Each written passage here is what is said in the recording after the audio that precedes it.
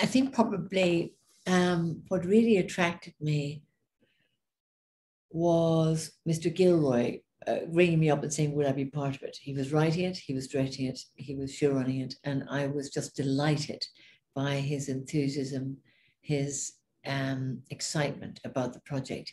I mean, we're all so aware of Star Wars. I was very happy to join the universe anyway, but it was very exciting being asked to take part. Well, Marva is Cassian's mother, but she wasn't always his mother. She finds him when he was a child and she takes him home and becomes his mother and looks after him for all those years. And this is both a great thing and a bad thing in that she loves him like a mother, but he's always got this hankering for uh, his sister who he wants to find in Kenari or who, who may have left Kenari at the same time. So he is a sort of happy but reluctant son, I think, but he loves her too. And she's the only mother he really knows. So it's uh, that's really who she is. She's his mother and a very important person in um, Ferrix because she is part of the Daughters of Ferrix. She looks after Ferrix. She looks after the community. She's very pro-community. She's a very kind person. And I think probably a person who instills very good values into Cassian. I'd worked with Adria in a, a, strange series about witches some years back. So it was lovely to see her again. But I have nothing to do with her in the series, sadly. I mean, she's just around. She's part of my community, but not part of my scenes. And uh, no, it was my first time working with Diego, which was just beautiful. And uh, I'm very glad to have done that. And um, I know some of them, of course. Um, uh, the Irish girls I know because we all know each other vaguely from being from Ireland.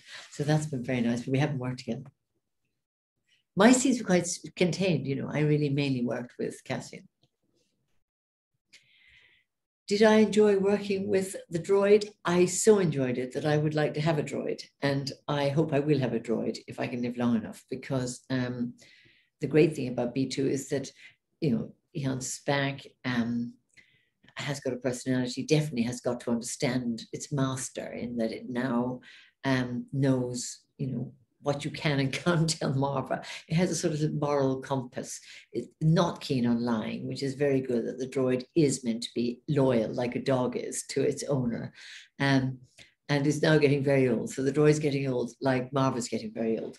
And so the old droid and old Marva live together. So in, theory, it's, it's a happy little relationship.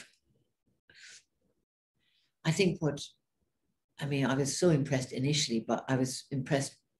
What, what, what impressed me most about the whole thing was, of course, the costumes, which were, when I walked in for my costume fitting, they had different costumes with different aesthetics for different planets. And that you begin to, you know, and these are hundreds of costumes in certain shades that have different references to different parts of Africa or Asia or other historic events other uniforms. And then you go to the Ferrix world, which is responding to a metallic world. And you think, gosh, this is just the costumes. And then you get into the costumes, which are indeed industrialized in, in, in that Ferrix is an industrial place. And then walk onto the set, which is built from, it seems, some sort of Adobe, Adobe mud, but meets this old reused, recycled lumps of spaceships. And you think, God, whoever invented this is a genius because it has um, an aesthetic you half recognize and absolutely have never seen before. And the detail of this on the sets makes you just want to lick every corner and see, you know, how did they turn that screw into a little tap or uh, it's ingenious.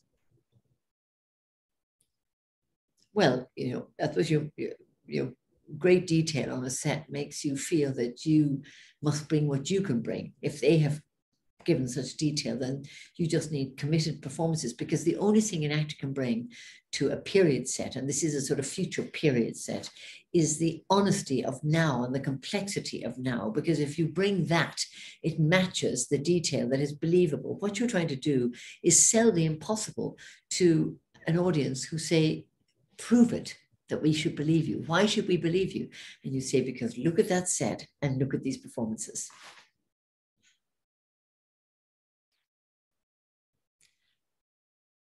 I think I liked best the whole experience of being able to play somebody who is old and near death, whose life should be over, but who, as the series develops, you begin to realize had a completely different earlier life, was a swashbuckling pirate who went around the universe collecting lumps of metal and turning them into spaceships who could mend spaceships. Somebody very unlike me.